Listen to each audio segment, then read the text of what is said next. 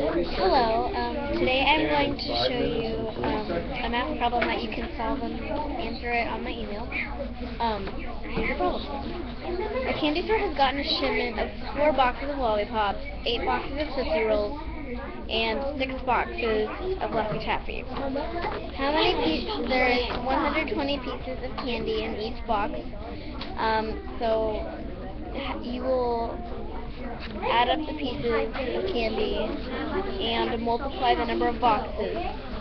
There are four lollipop boxes, eight Tootsie Roll boxes, and six Laffy Taffy boxes, and the lollipop box has been doubled to 120, 140.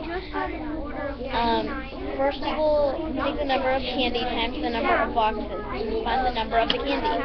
Um, to solve this problem, you will email me at mwill